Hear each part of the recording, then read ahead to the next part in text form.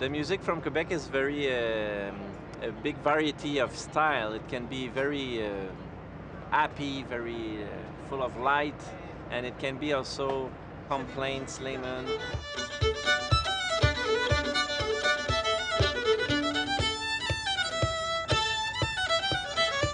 More, they were more sung by a woman at the time in the in the house, in the kitchen. A lot of songs also of work.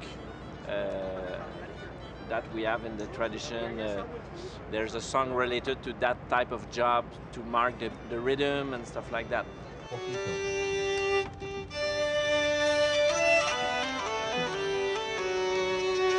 All those stuff are composed by us or from directly from the tradition, or sometimes a mix of that.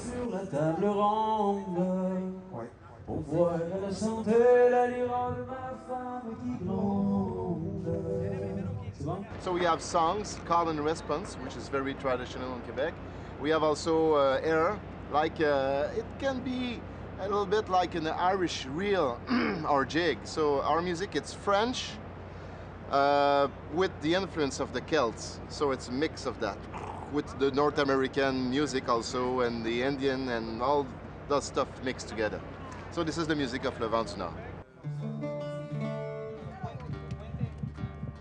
it's our identity so it's uh, part of our way to, how to live how to you know get together have fun and uh, so that that music brings a lot of joy and you know makes the people dance uh, it's very nice Yeah, yeah. I had the, the, other Frank?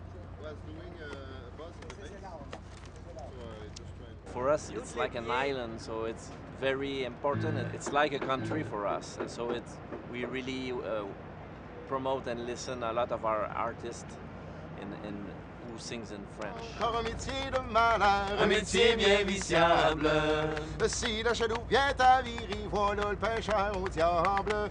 lui jouera du violon, jouerait de la musique.